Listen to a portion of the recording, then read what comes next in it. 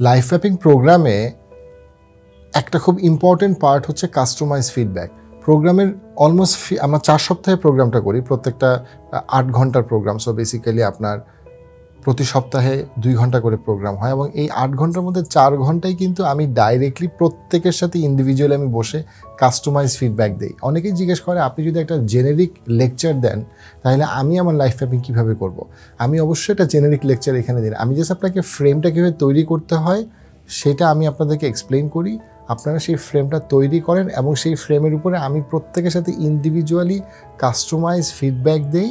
And then eventually আমি আরেকটা class করি on how to stick to it কারণ আমি একটা এক্সিলেন্ট ফ্রেম করলাম বাট আমি যদি সেটা যদি ফলো করতে না পারি, তাহলে তো ফ্রেম করে কোনো লাভ নেই। সো আমি একজনের সাথে বসছিলাম অ্যান্ড আমি যে পয়েন্টটা আমি ডিরাইভ করতে যাচ্ছি এখান থেকে, সেটা হচ্ছে গিয়ে যে আমার লাইফে অনেকগুলো ইম্পর্টেন্ট পার্ট আছে। আমার ফিলসফি স্পিরিচুয়ালিটি ইম্পর্টেন্ট আমার ফাইন্যান্স ইম্পর্টেন্ট আমার রিলেশনশিপ ইম্পর্টেন্ট আমার ক্যারিয়ার ইম্পর্টেন্ট সব কিছু মিলেই কিন্তু আমার লাইফের সাকসেস হ্যাপিনেস পারপাস সেই জায়গা থেকে আমি একজনের সাথে লাইফ হ্যাপিংয়ের কথা বলছিলাম। আমি তার ছদ্মনাম ধরে নিই, তার ছদ্মনাম হচ্ছে ইমরান। সো আমি ইমরান ভাইয়ের সাথে কথা বলছিলাম। উনি একজন মিড লেভেল প্রফেশনাল দুইটা মাস্টার্স করেছেন, খুব ভালো করছেন ওনার লাইফে অ্যান্ড কিন্তু হঠাৎ করে ওনার লাইফে কী যেন হলো, উনি একটা ডিফারেন্ট আগে চাকরি করা স্টার্ট করলেন। অ্যান্ড উনি যখন আমার সাথে লাইফ ম্যাপিংটা করছেন five year plan thirty year plan করছেন, উনি আমার সাথে খুব ডিটেলসে বসছেন এবং উনি, আমি ওনার প্ল্যান দেখলাম। পুরো প্ল্যানটা একটা জায়গায় গিয়ে যেন খাপ ছাড়া। উনি আমাকে বলেন খাপ মিলাতে পারছি না, আমি ওনার সাথে কথা বলতেছি, ওনার সাইকোমেট্রিক্স করতেছেন সব কিছু কথা যেটা বের হয়ে আসলো সেটা হচ্ছে যে উনি গত তিন বছর ধরে ক্যারিয়ারে খুব এলোমেলো একটা জায়গায় আছে। কিন্তু উনি বুঝতে পারছেন না যে কী হবে, ওনার হঠাৎ করে খুব ডিপ্রেস লাগে, কর্মদক্ষতা খুব কমে গিয়েছে। সো আমি জিজ্ঞেস করলাম যে, আপনার রিলেশনশিপ স্ট্যাটাস উনি বলে যে, আমি তিন বছর আগে বিয়ে করেছি অ্যান্ড আপনি কি বিয়েতে সুখী? উনি বলল, না।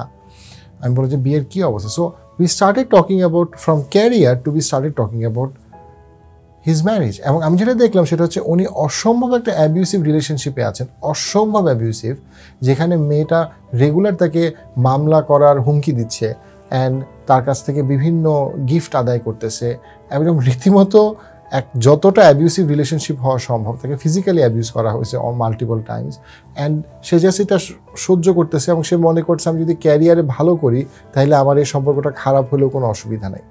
বাট একটা সময় যখন যে রিলেশনশিপটার সিচুয়েশনটা রিজলভ করতে পারল সে ইভেনচুয়ালি তখন তার এন্টায়ার লাইফ ম্যাপিংটা ঠিক হয়ে গেল।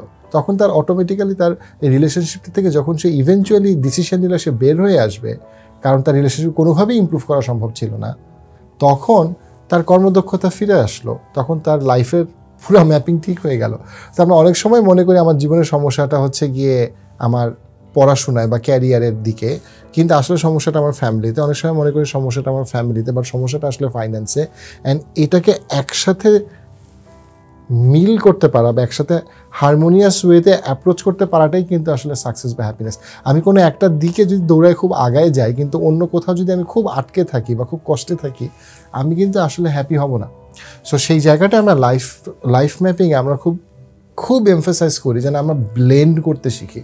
কারণ আমরা যদি ব্লেন্ড করতে না পারি, আমরা যেন মাল্টিপল পার্সপেক্টিভকে যদি আমি এক জায়গায় আনতে না পারি দেন শুধুমাত্র টাকা দিয়ে অথবা শুধুমাত্র আমার সিজিপিএ দিয়ে অথবা শুধুমাত্র আমার মানে বেস্ট এমপ্লয়ি অ্যাওয়ার্ড পেয়ে, শুধুমাত্র রিলেশনশিপ দিয়ে আমি আসলে আমার লাইফটাকে হারমোনিয়াস করতে পারব না।